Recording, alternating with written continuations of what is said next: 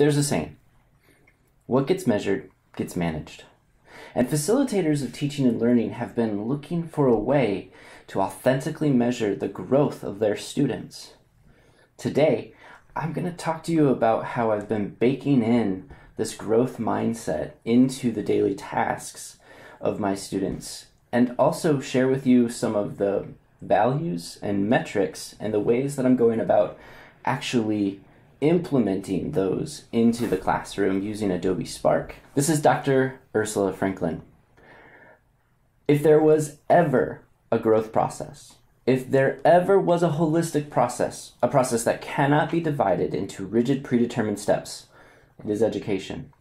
And so there's this genuine pursuit of how do we actually find a way to bring assessment into a growth mindset environment. And I think the best thing to do with that is to start with why, right? To think about what kind of values you want to be the foundation of your metrics, and then how do you implement those metrics? How is it that we have the audacity to think that we know what our students are going to need in five years, in 10 years, in 15 years' time? The truth is, we really have no idea what kind of challenges and opportunities and behaviors that are going to be present for our students in that time. So it makes sense today to start thinking about what values we need as a bedrock to instill in our students so that they can be the kinds of citizens that the 21st century needs. I came across this idea of the four C's from the book 21 Lessons for the 21st Century by historian and futurist and philosopher Yuval Noah Harari. And those four C's are critical thinking, communication, collaboration, and creativity. These four C's have been expanded by the ISTE standards, and you can see those here. If you look closely, they're baked in and they're expanded in this I think using these things as a metrics to start instilling values into our students is a really sustainable way forward for us. This way, we don't need to necessarily try to predict what our students are going to need, but we can give them values such as integrity and curiosity and resilience and altruism. And those things sit as foundational to all societies. I use Adobe Spark as a day to day task in my classrooms. And it's a blog, right? And a lot of instructors have used blogs in the past. The other thing that we can do to start bringing a growth mindset is is to frame the blog properly. And so this is what I share with my students at the very beginning of the semester. And that is, you know, this is a space for you to write out your process. You're not supposed to be perfect in this space you are going to gain a lot of insights from the failures that you have. So write about them. And not only will you gain insights, so will your peers. The creative process is a process of iteration. And while I have iteration baked into my actual course calendar, the idea of establish, grow, maintain, and repair, I also want them to be talking about that in their blog. The next thing that's very important for me is to share what my role is with the students. And the first thing that I say is I'm here to facilitate your growth and to give you as many options in that growth as possible while also removing any perception of risk.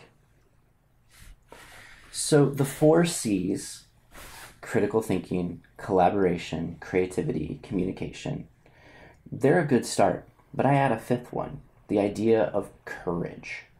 So the first thing, this idea, the the heart of everything, is creativity. And so creativity shows up in the Spark page over time because as students continue to iterate and interact with each other, these mixtures of techniques and ideas and concepts comes together. And I'm always encouraging my students to bend their ideas, to break apart their ideas, or to blend their ideas this is all coming from Dr. David Eagleman's work, into something that iterates into something that, that speaks to them, that's important for them. I'm not necessarily assessing the overall product, I'm assessing their process. and where does that creativity exist? The next is critical thinking, and critical thinking is exists exists within their uh, group to uh, peer-to-peer communication, the way that they um, choose which tutorials to follow, they choose how to solve solutions, how to pivot from solutions, but it shows up where they write about how they've used the work and used the feedback and made decisions along the way in their blog this is something that is a bit of a like buzzy word, right? Because for us it means one thing. We know in the day-to-day world that we're going to be interacting with a team. But quite frequently in an academic environment, when you get put on a team, there's usually like one or two people who take the lead and then the rest can kind of just coast. So I try to shift that frame a little bit and do what I call collaborative learning which is sharing techniques, um, giving in, uh, like giving a, a, space or a place to celebrate other people's work, giving empathy for the moment where somebody's struggling. Um, but really, it's you know being authentic uh, about your words and your actions and, and like your work ethic. So it shows up in the Spark page. Well, when students are posting tutorials that they found helpful, um, and also, it improves communication because on another person's Spark page, you might see them say, Hey, I used this tutorial from Xavier and it was such a help, right? And that's where we start to bring up this collaborative learning. I will say that it is difficult to establish this culture because so often there's a culture of competition or there's this uh, kind of need to be perceived as perfect from our students. And that's really difficult to get them to get to a point where they can ask one another, their peers, questions and support and for feedback before they come to you. But the benefit of this is that it trains them to not think of you as the one stop shop for everything, but to really learn how to cultivate their network and how to continue to establish that communication and collaborative mindset with other people. Communication shows up in their Spark page because it allows them the ability to deliberately practice what they did, how they did it, why they did it, what their obstacles were, and what their next steps are. Brene Brown, who I adore, says that courage starts by showing up and letting ourselves be seen being vulnerable and being courageous, these are two sides of the same coin. And I think it's imperative for us as facilitators of teaching and learning to establish a classroom culture where someone can be their authentic self, where they can make a mistake in front of their peers and ask for help from their peers before coming to you. That's tricky, but as a facilitator, we need to bake that into the classroom culture. This is something I'm worried about a lot of students come into my classroom and when I ask them, what do you love? Like, what gives you energy? They don't know. Um, some do, and they're lucky and they're ready to just like hit the ground running. But often we find students that don't really know what their passive pleasures are or what their active enjoyment is and how to align those things into something that becomes, you know, a heuristic or an autotelic pursuit. Um, all of those things are the are the home of intrinsic motivation. And I want to help students find those intrinsic motivations, so that becomes part of the thing that's baked into the blog as well. Is what do you love? Don't be bashful about it. Share.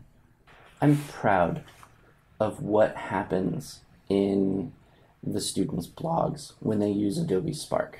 I ask my students to put the date and the time uh, that they were working and that they were active on this process for each of their blog posts. But other than that, I don't really give them a template necessarily to follow. They just know that they need to put about four hours in outside of the class on whatever projects that we are talking about that week. And so instead of specific assignments, I tend to give tasks that are challenges or exercise that will allow them to deliberately practice what they've been working on. And here's the last. Again, I have them do a, a deal where they tell me what they love so I get to know who they are rather than treating them like a monocrop. I'm, I'm trying to ask them, what do you need and who are you? And then let's use that information to create something new. I use Microsoft Forms throughout the semester, and I'm asking them to evaluate their growth, um, to evaluate what they feel that they've learned and where they need to repair that learning relationship. So I'm really kind of putting it on their shoulders. Specifically, how did you collaborate? Mm, tell me about critical thinking throughout the semester. Uh, where did you give feedback? Where did you get feedback? And it goes back to that thing that I started this whole entire talk with. What gets measured gets managed.